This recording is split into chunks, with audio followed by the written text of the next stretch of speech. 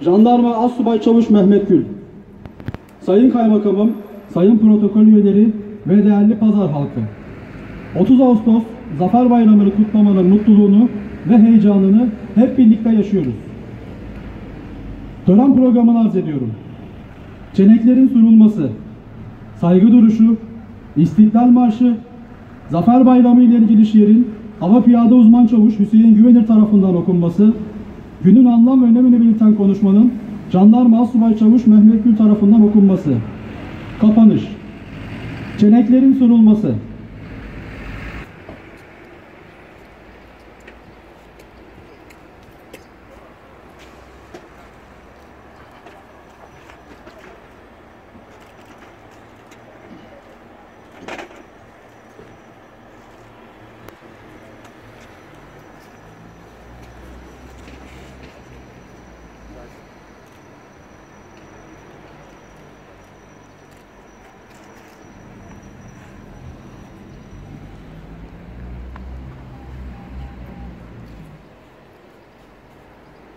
Garnizon Komutanlığı Çelengi. Arz ederim.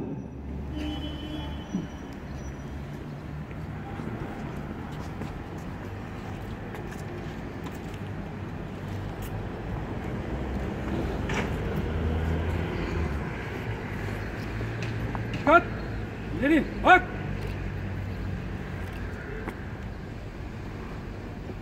Belediye Başkanlığı Çelengi. Arz ederim.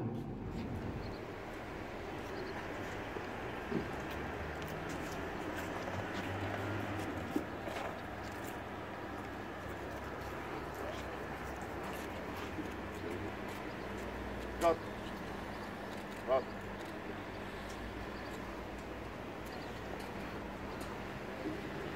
...30 Ağustos dünya tarihine damga vuran milletimizin şanlı tarihindeki en önemli dönüm noktalarından biridir. Bu zafer birlik ve beraberlik içinde hareket ettiğimiz sürece olmaz denilenleri başardığımızın bir göstergesidir.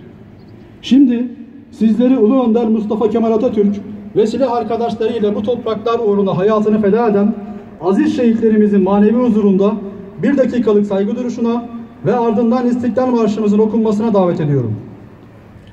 Tören birlikleri. Rahat. Hazır ol. Selam. Dur.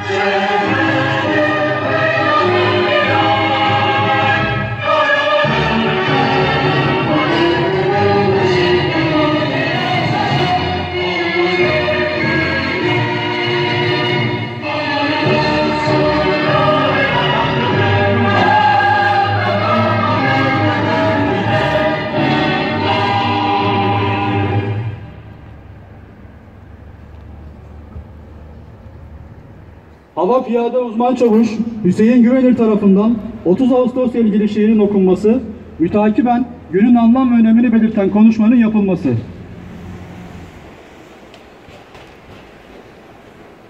Uzman çavuş Hüseyin Güvenir.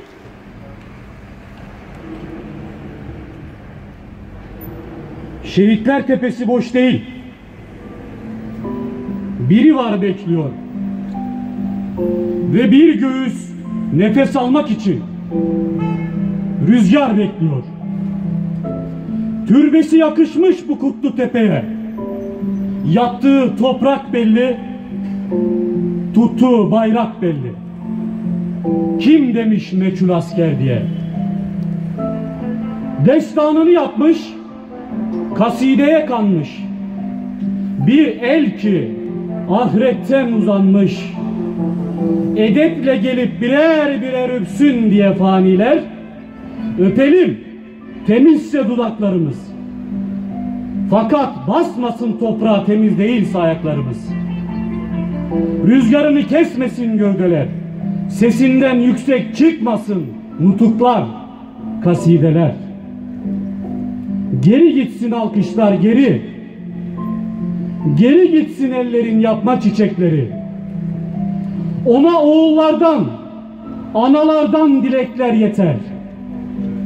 Söyledi söyleyenler demin. Gel sündülü it, alkışlasınlar. Şimdi sen söyle. Söz senin. Şehitler tepesi boş değil. Toprağını kahramanlar bekliyor. Ve bir bayrak dalgalanmak için rüzgar bekliyor. Destanı öksüz, sükutu derin meçhul askerin. Türbesi yakışmış bu kutlu tepeye. Yattığı toprak belli, tuttuğu bayrak belli. Kim demiş meçhul asker diye arz ederim.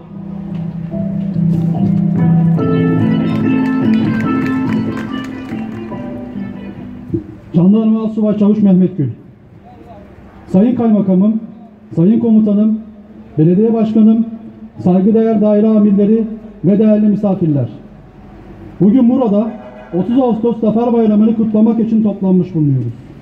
Bugün Türk ulusunun Ulu Önder Atatürk'ün izinden giderek asil geçmişine ve parlak geleceğine sahip çıktığı 30 Ağustos zaferinin 98. yıl dönümünü kutlamanın gurur ve heyecanı içindeyiz. Bu zafer, tarihin her döneminde hür yaşamış olan Yüce Türk ulusunun Ulu Önder'in etrafında kenetlendiği ve milli birlik ve beraberlik ruhu içinde ya istiklal ya ölüm parolasıyla sürdürdüğü bir bağımsızlık mücadelesinin zaferidir.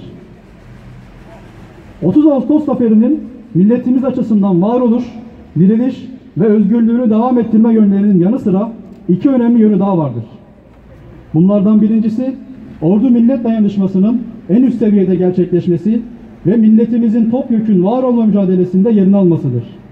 İkincisi ise 30 Ağustos zaferinin ardından Türkiye'nin yeni hedefler, yeni kurumlar ve çağdaş dünyaya kararlı adımlarla yürümeye başlamasıdır. Büyük zaferin 98. yılını kutladığımız bu süreçte gönlünü bayrağına, canını vatanına adamış, sayısız kahramanlardan oluşmuş Jandarma Genel Komutanlığı'nın bir birliği olarak Cumhuriyetin temel niteliklerine yürekten bağlı, ülkemize ve milletimize yönelecek her türlü tehlikeye karşı mücadeleye aynı azim, heyecan, disiplin, görev anlayışı ve kararlılıkla devam edeceğimizi ifade etmek isteriz.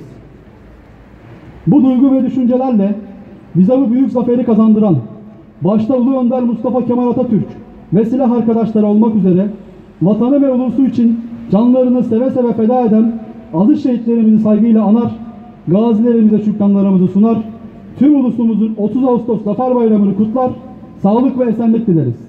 Arz ederim. Tören sona ermiştir. Arz ederim.